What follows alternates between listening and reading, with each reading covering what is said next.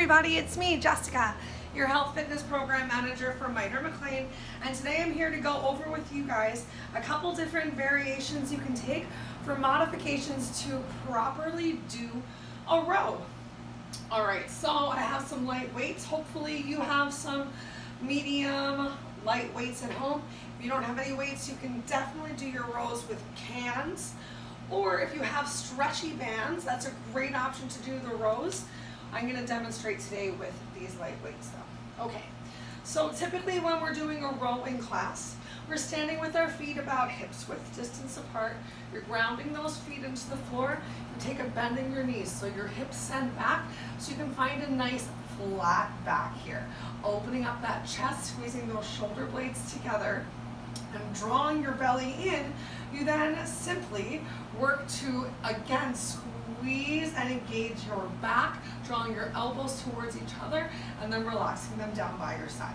I like to think about having the tops of your weights as if they're a paintbrush painting up that angle you've created with your thighs as you really work to pull your elbows towards each other and that's just like our typical row that we normally do in class. If you find that hinging forward and keeping this flat back is challenging for you, a great variation is to practice your row using a chair or a bench so that you can come on into a modified tabletop, use your front arm to find some support on the chair, still working to open up your chest, engage your back, pull that belly in. You can then still find this delightful row motion, one arm at a time. Think about trying to create that space of your shoulders away from your ears. And then you would simply need to turn over, do the other side, just to be nice and even. You can also, if you are challenging yourself, but maybe your weight is a little bit heavy, instead of doing both arms at the same time for a standing row, you can always alternate your arms in a row.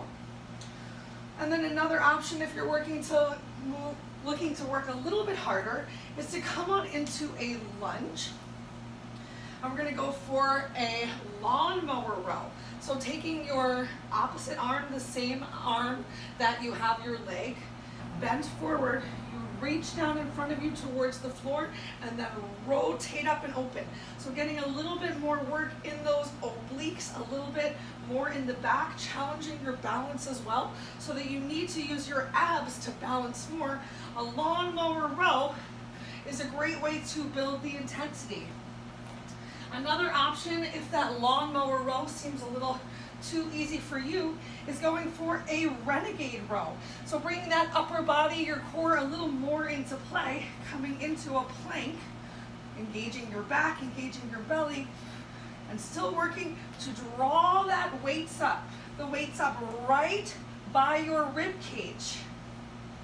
If you're looking for a way to combine your lawnmower and your plank, you could even do a side plank Think about really getting your hand pump under your chest and rotating out, even rotating out, adding a little bit of an arm extension in. And you can again do those alternating to each side. Great, I hope that you guys enjoyed seeing a couple different variations that you can bring to your row during class to find the row that absolutely works best for you.